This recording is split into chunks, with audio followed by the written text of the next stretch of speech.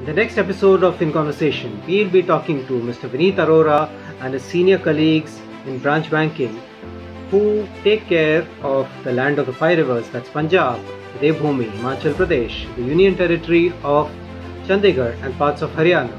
We'll talk to them about the subtleties and the nuances of doing business uh, in those regions and also the customer behavior and trends there. Join us for the next episode of In Conversation. Also, please do follow us on our social media handles.